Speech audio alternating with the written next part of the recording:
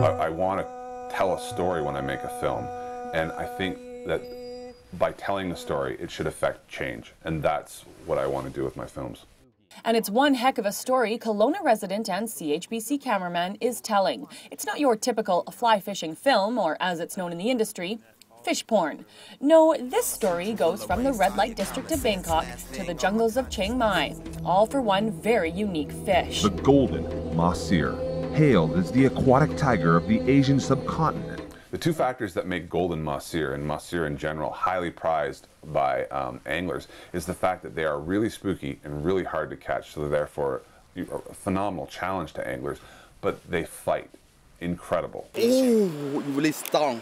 Epic. But it was, wasn't until I actually caught one of those fish and that I held it in my hands and I saw how beautiful the scales are and I saw the coloration of the fish up close. And it reminded me of these beautiful uh, golden temples that they have throughout Thailand. This fish turned out to be a game changer for Lowe and for the Montana Fly Company featured in the film, as they help to support a conservation project along the Mae Nao River, which will teach local Karen villagers about aquaculture.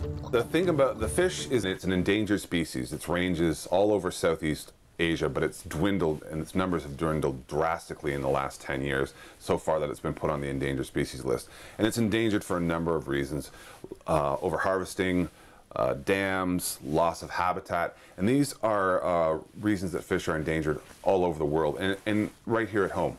And it's those same concerns happening right in Lowe's own backyard that prompted him to start the conservation effort, Trout Unlimited. We as Trout Unlimited Okanagan are focused on the Kettle River and, and, trying to help restore the Kettle River. And the Kettle River has been one of the most endangered rivers in British Columbia for the last six years, and there's several problems on it. And we're just trying to focus our efforts on that.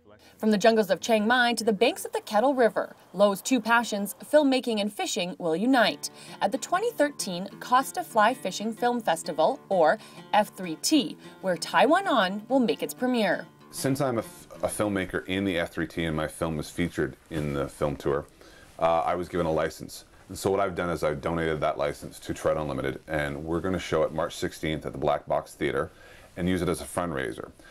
50,000 people will attend F3T during the 150 dates across North America, with Lowe's film premiering at each one.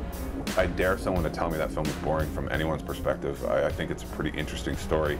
Jen Zielinski in Kelowna for Castanet News.